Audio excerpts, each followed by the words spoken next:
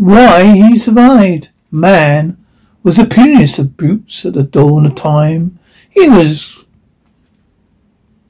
powerful compared to modern man, but his thinking ability was not perfect. Affected, he was slower than slashing saber tiger, at the mercy of the mammoth and all the other monsters of this world. Why and how then did he live while other species vanished into history? The even then had powers of defense crude but partially effective.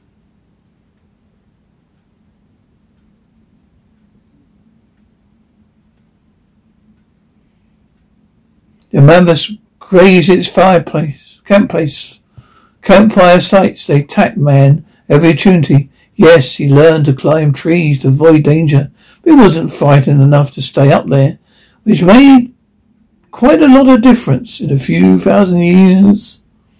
Prehistoric man was a nomadic creature at first, leaving naturally sheltered places or in dens like the animals. But he found places he liked and didn't move on. Near patches of wild berries like which he ate and herds of wild deer like animals.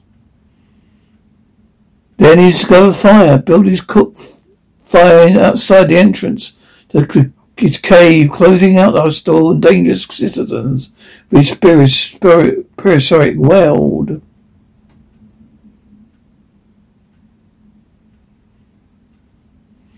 A good question. Why did this slow-moving, slow, small-toothed pony creature survive? Well, for one reason, he adapted. Faults, faults controlled his environment by wearing skins which the cold which against the cold were heating the dens in which he slept. His fifth digit became a thumb, moving down his wrist, opposing the weapons so tools and weapons could be grasped. Yes, he wore clothes, treasured fire, built permanent homes, then tilled the soil, discovered the seed grows food, found the will. Yes, Man survived all the dangers then. He is alive today. The dangers we faced. How will we meet? Adaptable man will find a way to keep on living to people the earth to go on.